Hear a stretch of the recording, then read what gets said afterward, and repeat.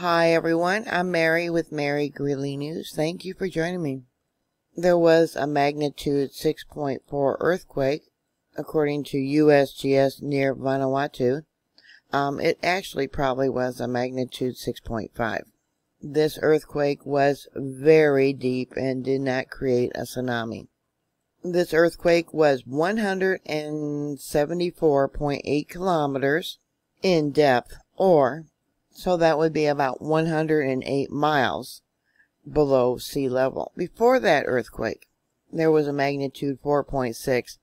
It too was even deeper, 633.4 kilometers, which would be about 394 miles deep. And then before that, there was a 4.6. It too was very deep. Let me show you where that one was at. I'll pull this over, over by Fiji. That was 559.4 kilometers, and that would be about 374 miles below sea level. You know, until recently, scientists did not believe that earthquakes could occur at such depth. These deep earthquakes are caused by the ocean ocean's crust subsiding underneath continents, and in this case, the continent of Australia. The ocean's crust is thinner but heavier than the continent. Continent plates are much thicker but lighter.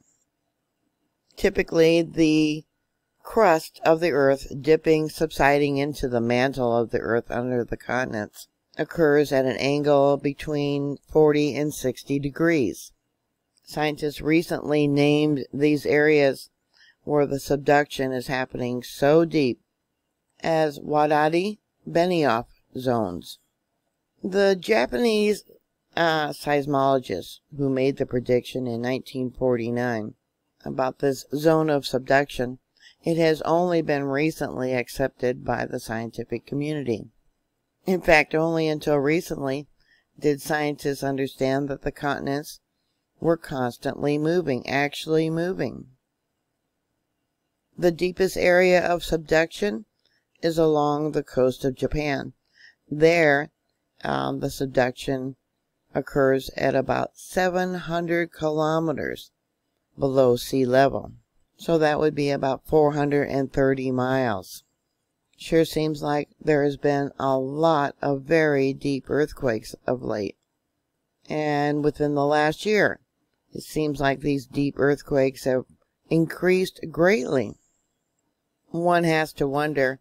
There was a report, I believe it was last year or the year before, where they showed evidence of the earth uh, mantle heating up, uh, and of course, then the crust of the earth uh, being affected by that heating of the earth mantle.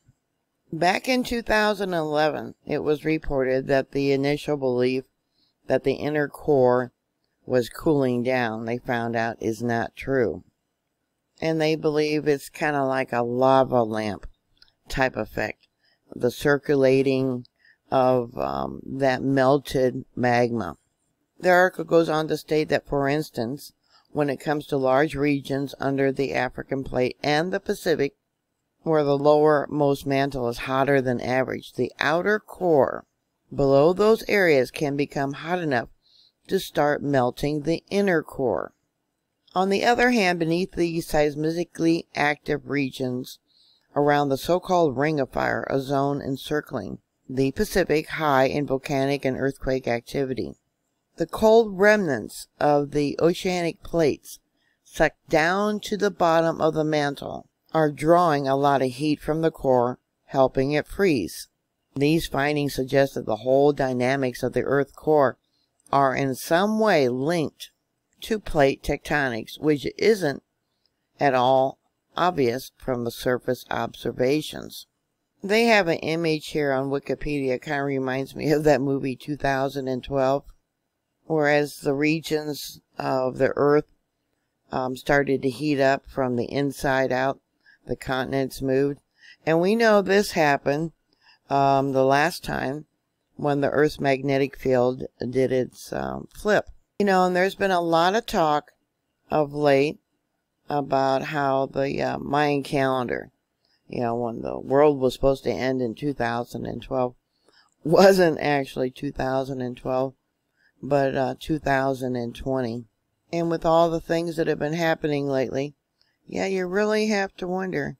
But that's all I have for you right now. What are your thoughts? Put your comments down below. Thank you for subscribing. Please stay safe, and I'll talk to you later. God bless you. Bye.